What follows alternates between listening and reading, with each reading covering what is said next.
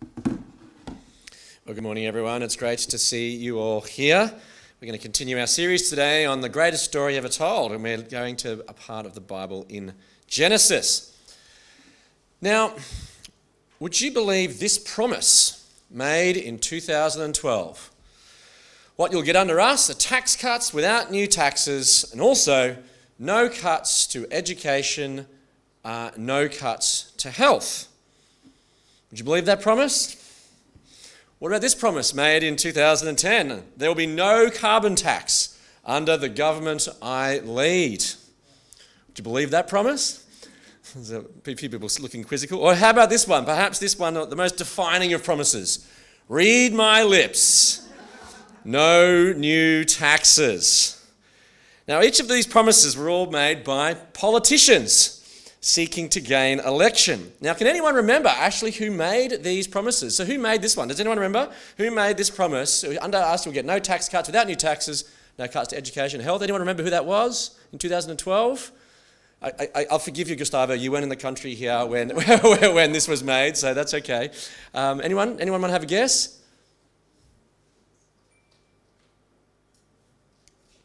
Tony Abbott made that promise in 2012. Okay, this one might be a bit easier. Who made this one? There will be no carbon tax under the government I lead. It was made by? It wasn't ScoMo. It was, no, not Kevin Rudd.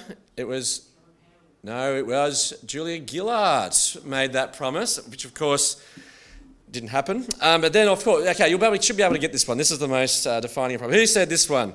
Promise in 1988. Read my lips, no new taxes was made by it was George Bush Sr., the 43rd President of the United States. Now, how many of those promises were kept?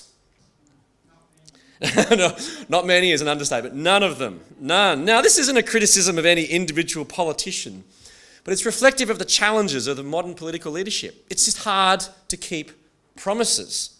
So much so that American financier Bernard Baruch once said, Vote for the man who promises least he'll be the least disappointing. But promising little is hardly inspiring, is it? But maybe promising little is better than a broken promise. For promises are based on trust. If you break a promise, trust is eroded. Politically, this can be disastrous, and George Bush's broken promise was catastrophic. It's been described as the six most destructive words in the history of presidential politics. But in any relationship, marriage or friendship or family, broken promises diminish trust, intimacy, and connection. Regardless of whether promises are core or non core, it's hard to trust people who make promises and break them. Well, today, at the beginning of Genesis, we come across some of the most important promises ever made in the history of humanity. These promises are far more important and significant than any tax cut or political promise. For these promises concerned the reconciliation of humans with their Creator. Last week, in the ultimate origin story, God gave humans a special mandate be fruitful and increase in number, fill the earth and steward it as His special representatives. But things have gone horribly wrong instead of being fruit, instead of being, uh, being fruitful, sorry, instead of fruitfulness, harmony, and peace, there's discord, violence, and murder. Rather than intimacy, community, and connection, there's pride, lust, polygamy, and relational breakdown. Humans are estranged from God, and the way to Him is barred by sin and a flaming sword. And so God has a choice. He can abandon his creation. He can walk around from the disaster that the human race is becoming and just leave them to destruction. Or he can bring about reconciliation, a renovation to bring wholeness, forgiveness, and connection with himself, to be their God and have a people for himself. And the good news is that God has chosen the latter reconciliation and to do this, God has made some big promises to a man called Abram. These promises begin his plan to achieve reconciliation and harmony. And today we explore these promises and we learn that God, unlike any politician, can be trusted. from the grand cosmic meta themes found in chapters 1 to 11, the story of Genesis then moves at the end of chapter 11 to focus on one man, Terah, and his son Abram, who was married to the childless Sarai living in the land of Haran. Now, from this one relatively obscure, unremarkable person who appears just as another name from among the many in the genealogies of Genesis chapter 10 and 11, the whole trajectory and story of the Bible changes. The story of rebellion, violence, and spiraling despair changes with a series of promises God makes to Abram. These promises show that Abram is to play a central role in restoring humanity's broken relationship with God. So in Genesis 12, 1 to 3, as Esther just read to us, the Lord said to Abram, Go for your country, your people, and your father's household to the land I will show you. I will make you into a great nation, and I will bless you. And I will make your name great, and you will be a blessing. I will bless those who bless you, and whoever curses you, I will curse. And all peoples of the earth will be blessed through you. So here, some huge promises are made to Abram, far bigger than any tax cut or election promise. In verse 2, Abram is promised to be the recipient of blessing. He will be blessed and made into a, great nation. He's also promised to become famous. His name will become great. Now, these are the kind of promises that any aspiring YouTuber, influencer, or TikTok, TikToker would love, aren't they? But Abram is also promised to be a mediator of blessing. He will, be, he will go and be a blessing, and connection with him will ensure blessing and connection for all peoples on earth. But the converse also applies that anyone who curses Abram will also be cursed. So, hence, Abram acts as a mediator of blessing to the world. So, in contrast to the spiraling destruction of the biblical story to this point, here we have the first glimpse of hope, a new stage of God's dealings with humanity. God has not abandoned his world to destruction, he has a plan through these promises made to Abram. Now, the commentary on this verse in the Net Bible, which is a fantastic resource to help study the Bible, says uh, it'll be hard to overestimate the value of this call and this divine plan for the theology of the Bible. Here begins God's plan to bring redemption to the world. So, how does Abram respond to this? Does Abram think, oh, sure, okay, I'm hearing voices in my head again, this is starting to sound a bit weird? Or does he think, well, actually, you know, I'm pretty happy here at my home. It's a bit of a pain to move house, well, maybe move tent, perhaps, in those days. Uh, this is my family's home. Why would I want to move where the, the language is different and people eat funny food? Well, we see Abram's response in verse 4. So Abram went, as the Lord told him, and Lot went with him. Abram was 75 years old when he set out from Haran. So Abram obeys. He hears God and he sets out with his wife and family and moves from Haran to Canaan. Hopefully that makes sense. You can see where Haran is up in sort of southern Turkey at the moment and uh, go down towards where he moves to Shechem. So Abram traveled through the land as far as the site of the great tree of Moreh at Shechem. So Abraham arrives in the land that the Lord has promised, the land of Canaan. And then he arrives at this new land, and the Lord makes another big promise. The Lord appeared to Abram and said, To your offspring I will give this land. Big promises. Not only greatness, blessing, and fame, but the Lord has promised the land of Canaan to his offspring. Now, this all sounds wonderful, but these promises actually create two tensions in the narrative. Abram's promised to become a great nation, and his offspring or his seed will be given land. But we, we recall Genesis 11:30. There's a seemingly incidental detail which now becomes pregnant with meaning, pun intended, because Sarai was childless because she was not able to conceive. Abram's wife Sarah had not been able to conceive. She had not been blessed according to the creation mandate. So, how can Abram become great, be a blessing, and have his name become great when he's now older and his older wife is childless? So, this is the first tension. And the second tension concerns the land. How can God promise land that already belongs to someone else? Verse 6 At that time, the Canaanites were in the land. is this reminiscent of stolen land? You know, God promising to take away the land from an already existing indigenous culture? Well, this is a, delicate and a tricky question that's perhaps worthy of a longer reflection. But part of the motivation to promise the land in which the Canaanites live actually goes back to earlier events in the biblical narrative and the curses that Noah places on Ham in Genesis 9 24 to 27. Thus, the enmity between the house of Shem, which is Abraham is a part, and then the house of Ham, which is Canaan is descended, remains an important background story in describing the enmity between Abraham's offspring and Canaan and hence providing some justification for the promise of the land where the Canaanites currently live. But moreover, from Genesis 10, it appears the Canaanites themselves were not actually indigenous to this particular land, but they were themselves were invaders and settlers. Hence, God had never actually gifted them the land.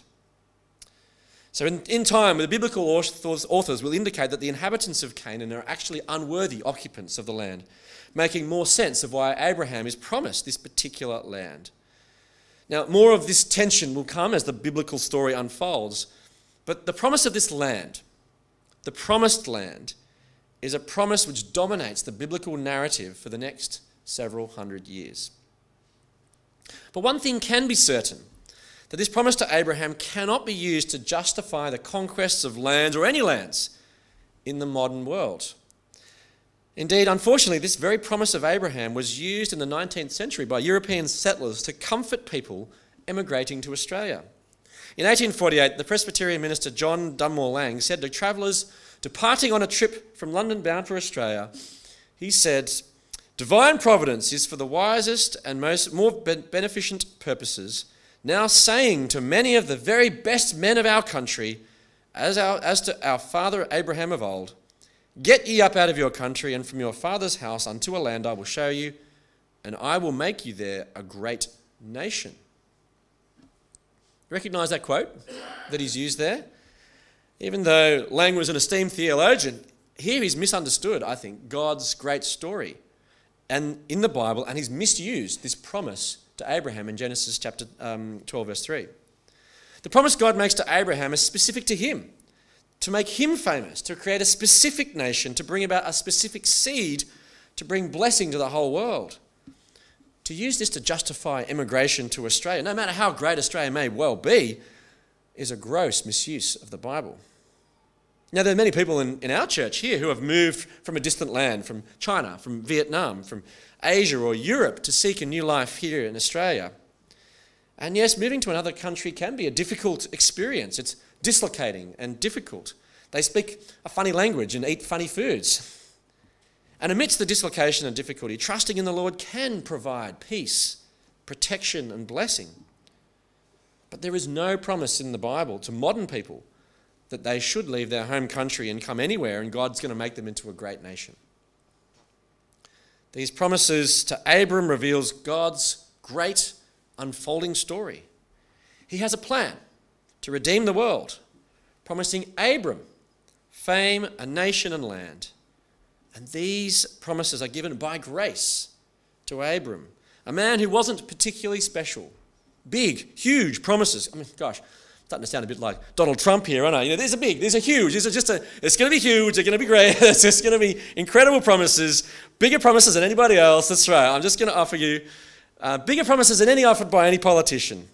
And by grace, Abram is to become the one through whom blessing flows and will bring intimacy and connection between God and humanity.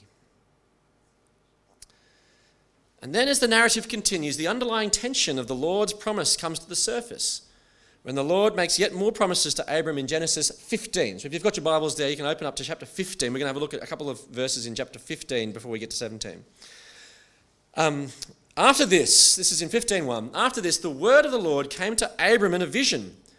Do not be afraid, Abram. I am your shield, your very great reward. The Lord is promising to protect Abram and reward him in great abundance.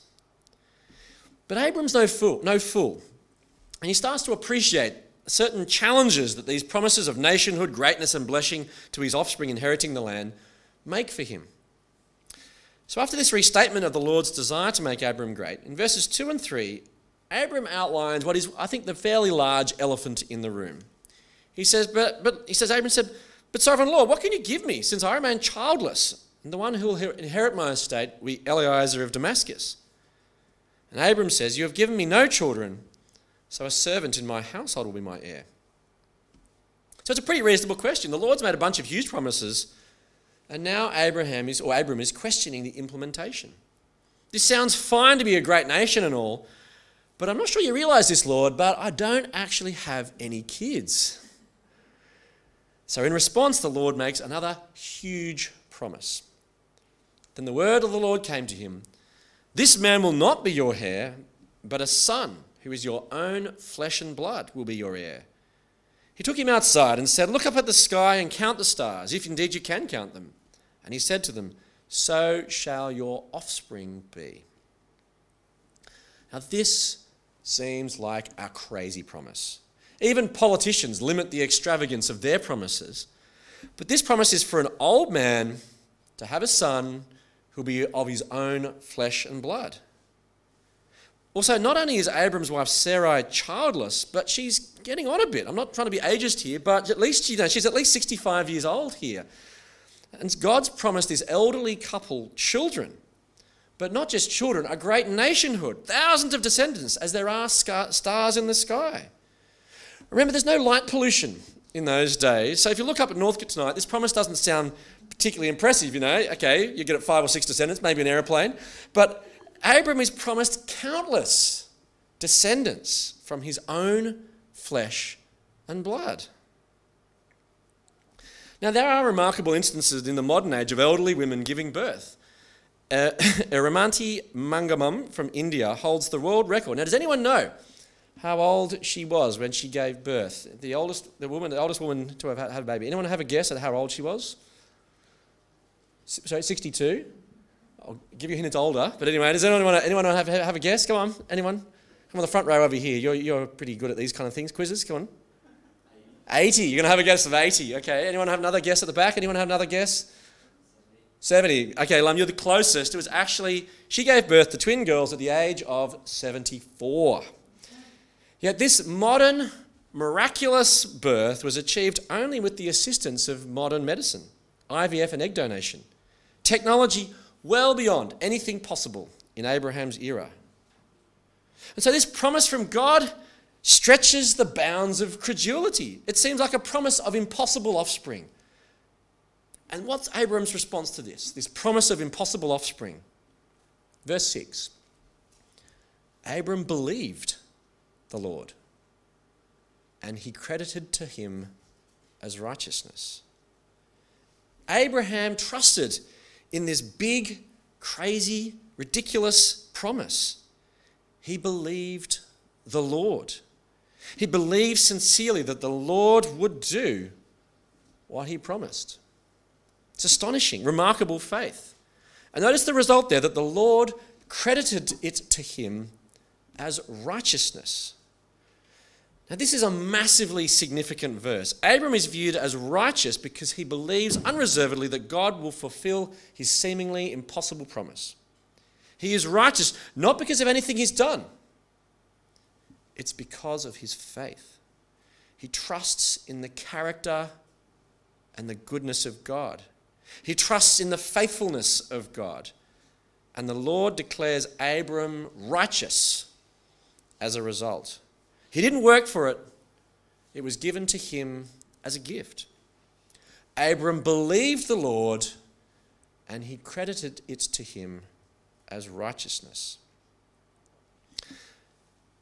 Abram's faith is the model of faith, and it's picked up in the New Testament, particularly in the book of Romans, where the Apostle Paul is considering how people are saved. He asks, How do people enter a right relationship with God? How are they justified before God? Is it through our actions, our good works, our good deeds? Do our good works make God happy with us? Or is it through faith? And Paul calls on the example of Abraham in Romans 4 2 to 3 to settle the matter, where he says, If in fact Abraham was justified by works, he had something to boast about, but not before God. What does Scripture say? Does it sound familiar? Abraham believed God, and it was credited to him as righteousness. To the Apostle Paul here, the sequence of events is critical because the sequence underlines the biblical doctrine of justification by faith. Because in Genesis 15, Abraham or Abram is reckoned or declared righteous before he's, before he's performed any ritual or good deeds, something that you could potentially boast about. He hasn't even been circumcised yet. Instead, he trusts God's promises. He believes God at the point he, and at that point, he is credited as righteous, rendering circumcision or any ritual or good deeds unnecessary to have a right relationship with God. And the Apostle Paul explains more in Romans 4 18 to 22. I'll read it out. Hopefully, you can read that, but I'll read it out. Uh, which says, Against all hope, Abraham in hope believed, and so became the father of many nations, just as it had been said to him, So shall your offspring be. Without weakening in his face, he faced the fact that his body was as good as dead, since he was about a 100 years old, and that Sarah's womb was also dead. Yet he did not waver through unbelief regarding the promise of God, but was strengthened in his faith and gave God, glory to God, being fully persuaded that God had power to do what he had promised. This is why it was credited to him as righteousness. So Abram is promised impossible offspring, which he trusts. And Abram's faith forms the model, the principle, the pattern which undergird our relationship with God, that we are declared righteous through faith in God and his promises, and not by good deeds.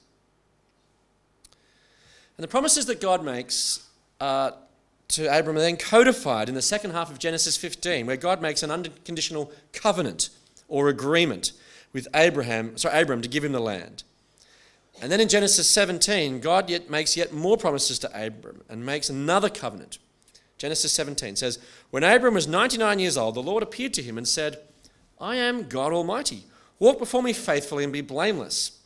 Then I will make my covenant between me and you, and I will greatly increase your numbers. So here the Lord then makes another covenant, an agreement with Abram.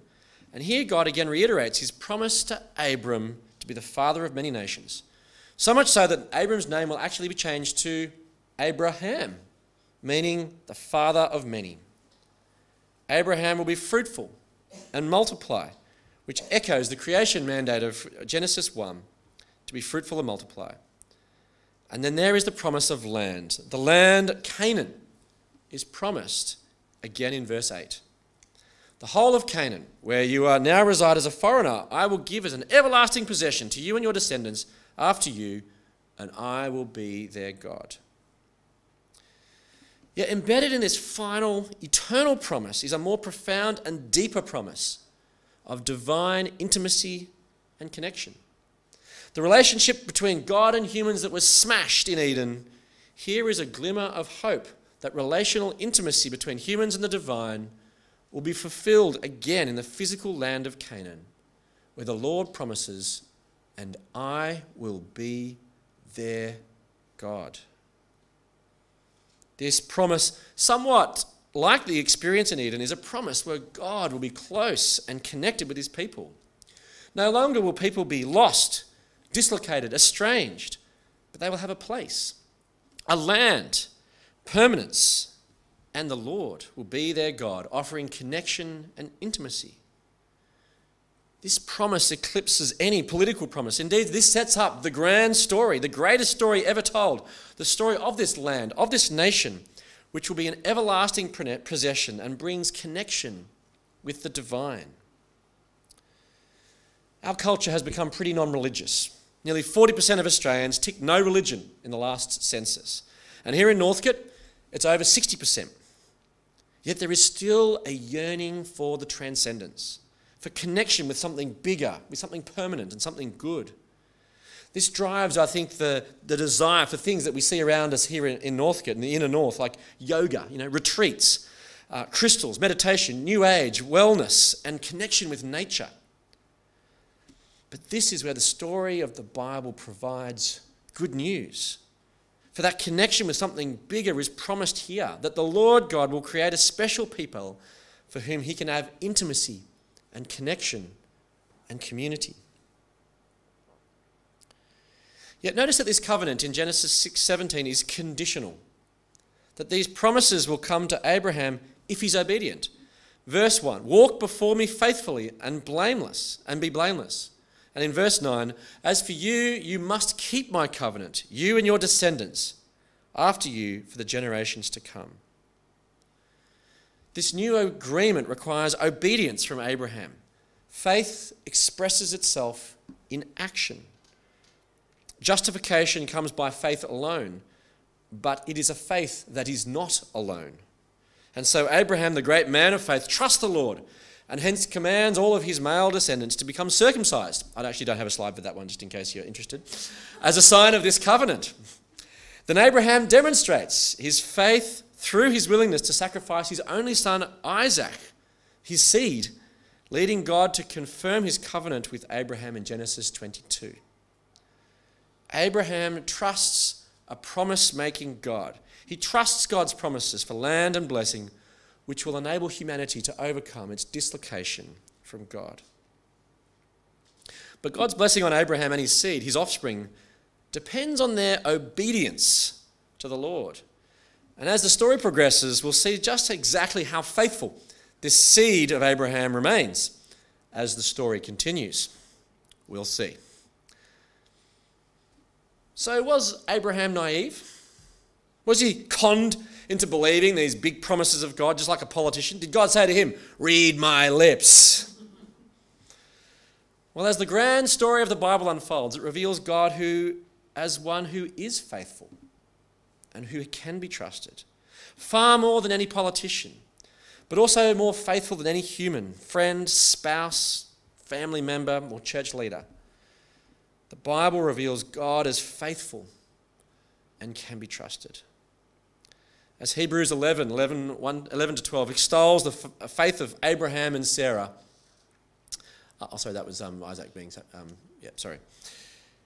And by faith, even Sarah, who was past childbearing age, was enabled to bear children because she considered him faithful who had made the promise. And so, from this one man, and he, as good as dead, came descendants as numerous as the stars in the sky and as countless as the sand on the seashore. Despite all the medical odds, Sarah conceives and bears a son Isaac, and from him a great nation, a great people is formed. So does this then mean that God is just going to make my life better and promise me and promise me impossible things? Well, the point of this passage is not that because God gave Abraham a child miraculously, that he can give us the miraculous desires of our heart.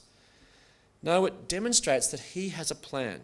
He's faithful to his promises. And so we, like Abraham, can trust him and entrust our lives to him. We aren't necessarily called to leave our home and establish a new nation, but we are called to trust in this promise making God. And as we close today, I thought I'd, ask, I'd like to ask someone who has found the promises of Abraham a blessing amidst challenging times to share. So I'd now like to ask my wife, Di, to come and please just share briefly um, her personal reflections. I might cry, and that's okay. Hope you're okay with that. So, um, I would like to share with you um, what the promises of Abraham uh, mean to me and have meant to me. So, sorry. Um, over the past 10 years, um, it feels like there's been a steady stream of disappointments for me. And I won't go into the details, but there have been times where I was very excited about what I thought God was doing and how he was using me, only to end up in situations where I felt injustice had been done, or when I felt humiliated or alone. And I know many of you have noticed my recent exhaustion, and I'm, I, am so grateful for your concern. And one reason for the exhaustion is these constant disappointments. The most painful part of these difficult times was feeling like God had let me down. Um, so it was so important when I was feeling this way to know that He was, that He does keep His promises and is faithful. I could know it because his promises to Abraham were fulfilled and are being fulfilled through Jesus, that I could trust him. I could know that I am part of God's people and that I will live in God's special place and experience God's full blessing in the life to come. So, although I felt like he wasn't faithful um, because of my circumstances, I knew he was. And this gave me meaning and purpose and hope. And it, although I know it's God who keeps me in relationship, I could continue trusting Him and keep feeling connected to Him um, and not totally give up um, and despair. So I hope that is some encouragement.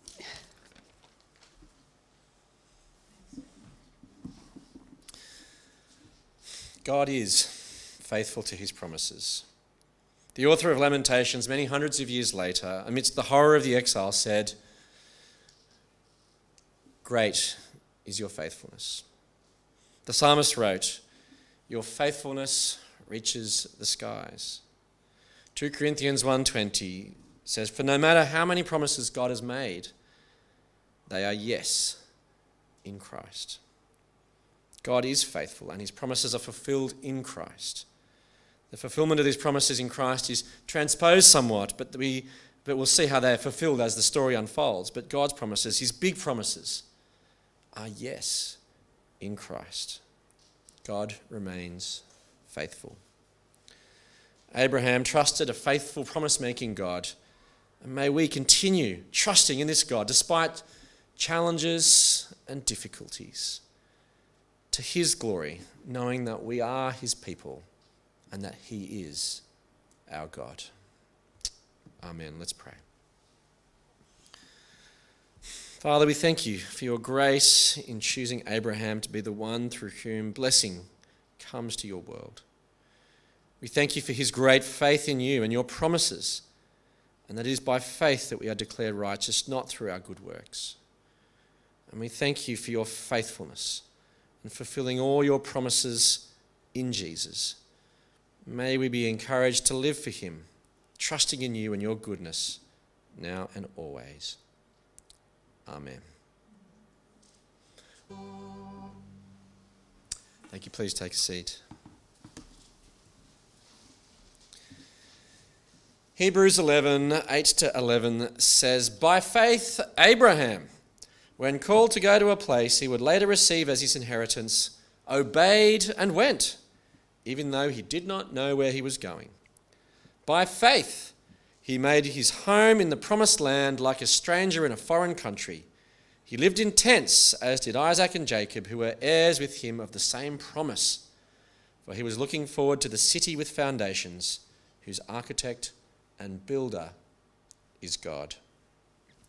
Father, may we go from here reminded of your grace in choosing Abraham, encouraged by the faith of Abraham, and may we live by faith and step into this week confident of your faithfulness as we look forward to our future hope with you. In Jesus' name, Amen. Well, thanks for joining us this week. It's great to see you. Please stick around and have a chat. I think there's some games perhaps for some of the kids to play, and maybe some of the adults perhaps to play as well. And next week, we're going to continue the greatest story ever told. And next week, I think we move into the realm of Ridley Scott and the Exodus, Gods and Kings, the true story. So look forward to seeing you that. And I can't promise too many CGI special effects, but we'll see what we can do in the next in the in the budget that allows us. Anyway, have a great week, and we look forward to seeing you next week. Thank you.